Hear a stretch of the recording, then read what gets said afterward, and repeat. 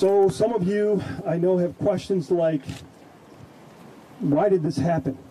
Um, you try to wrap your mind around how a person can be so evil and how they can do this not just to a stranger but to their own family.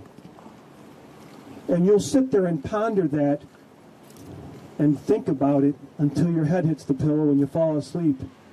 And you're never going to understand. I studied criminal justice and the criminal mind for 21 years. I've seen domestic violence more than I care to see. I've seen death and violence in domestic situations. Not like this. And this is something that we don't know, and it's the criminal mind. You can't understand why this happened because you don't have a criminal mind. They're different than we are. They don't think like we do. I can't think about punching someone with uh, outside of self-defense. I can't think about hitting someone, let alone trying to understand the brutality and the tragedy that took place here.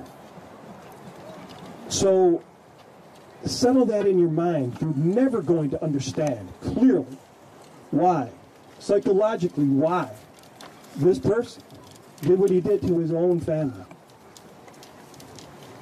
Prayerfully, justice this time will prevail.